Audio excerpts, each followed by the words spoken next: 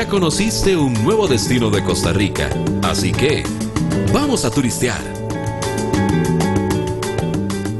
Uno para energizar, otro para adelgazar y uno para mejorar la digestión. Tres batidos al volver de la publicidad.